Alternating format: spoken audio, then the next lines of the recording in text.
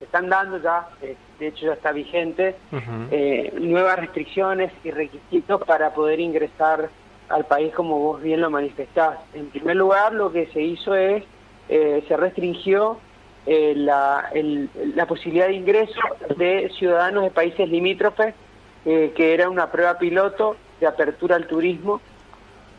lo otro que se hizo es se restringió a que solo argentinos o residentes en Argentina puedan ingresar eh, al país. Eh, también se restringió todo posible acceso por vía terrestre, ergo solo se puede ingresar eh, vía Ezeiza. también se va a requerir hisopado o test PCR con 72 a 48 horas antes previo al embarque para volar hacia el país y se va a exigir una cuarentena de siete días, obviamente una vez ingresado a, la Argentina. Eh, evidentemente eh, preocupa sobre todo la nueva cepa del COVID-19, que ya sabemos que hay eh, algún foco en Canadá, obviamente en Inglaterra, sobre todo en Londres y en ciudades aledañas, algo también se habla en Sudáfrica, hay algunas posibilidades de esta cepa también que su presencia ya se ve en, en Brasil, así que bueno, estamos contestes a esta situación y eh, lo que nosotros entendemos que es una necesidad sanitaria que lleva a tomar estas medidas.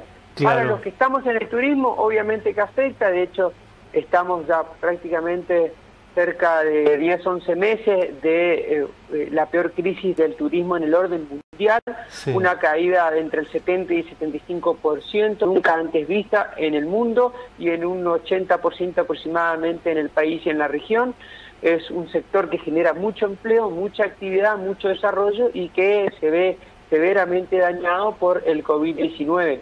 No obstante lo cual, nosotros lo que queremos es alentar a dos cuestiones. Una, eh, que eh, se pueda de manera paulatina, progresiva, responsable, con cuidado, eh, obviamente retomar la actividad. Y la otra, apelamos a la responsabilidad de la gente. Mira, el sábado se habilitó la posibilidad de un auto show.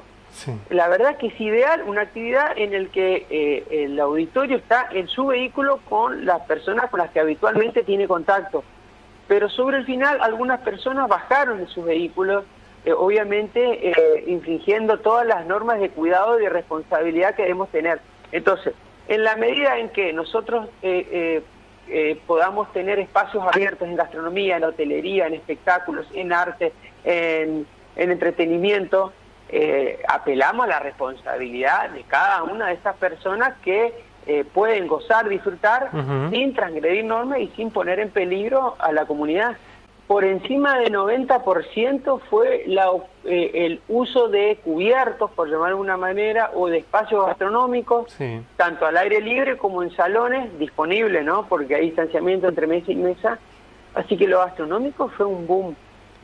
Ahora, en hotelería sí es más progresivo, más paulatino. Estamos entre un 15 y un 20% de la ocupación que le permite y cubrir gastos fijos. Eh, todavía eh, la eh, situación en materia hotelera es grave y en transporte también, eso va de acuerdo a la demanda. Entonces, lo que pasó en el transporte es que antes quienes habilitaban media y larga distancia era el Ministerio de Transporte de la Nación. Eso se cedió a las provincias para que cada provincia evalúe de acuerdo a la demanda y a los pedidos de los empresarios del transporte qué debía y qué no debía habilitar. Así que eso también va a ir progresivo. Y la otra novedad es que ahí en la planificación de aerolíneas vuelven a incrementar la frecuencia. Así que vuelos de cabotaje desde 6 a Resistencia vamos a tener mayor frecuencia, en algunos días van a haber dos vuelos inclusive.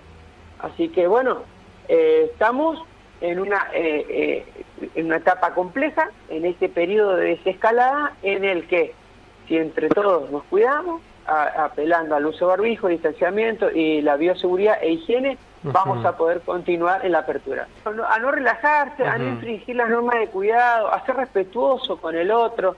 Eh, hay que tener consideración en los riesgos que genera el vector, son las personas si nosotros vulneramos las medidas que eh, eh, nos implica cumplir con el protocolo, y seguramente estaremos complicando sanitariamente a mucha gente.